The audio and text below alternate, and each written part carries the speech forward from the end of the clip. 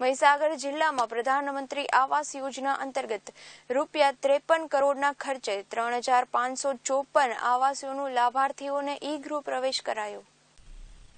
મહીસાગર જિલ્લામાં લુણાવાડા તાલુકામાં ખારોલ ગામમાં પ્રધાનમંત્રી આવાસ યોજના અંતર્ગત કાર્યક્રમમાં કલેક્ટર શ્રી વિજયસિંહ વાઘેલાના અધ્યક્ષસ્થાને ઉપસ્થિત મહાનુભાવો હસ્તે દીપ પ્રાગટ્ય કરી આ કાર્યક્રમ ખુલ્લો મૂકવામાં આવ્યો હતો.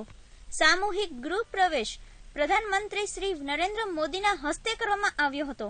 આ કાર્યક્રમમાં ખારોલ ગામે મંજૂર થયેલા એકાવન પૈકી તૈયાર થયેલ છેતાલીસ આવાસ લાભાર્થીઓને વૈદિક મંત્રોચ્ચાર સાથે પવિત્ર શામર માસમાં સાથે સાથે ગૃહ પ્રવેશ પણ કરાવ્યો. આ કાર્યક્રમમાં ખારોલ ગામના શ્રીમતી રસીલાબેન ભરતભાઈ બાળિયાએ પ્રધાનમંત્રી શ્રી નરેન્દ્રભાઈ મોદી સાહેબ જોડે વાતચીત પણ કરી હતી.